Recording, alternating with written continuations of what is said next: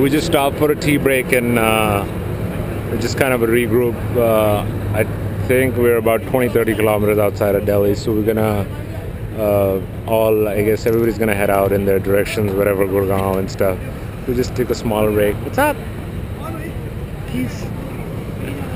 So um, I guess I'm gonna make a little bit more video uh, all the way to Delhi if we have batteries. And uh, okay, we'll catch the guys in a bit.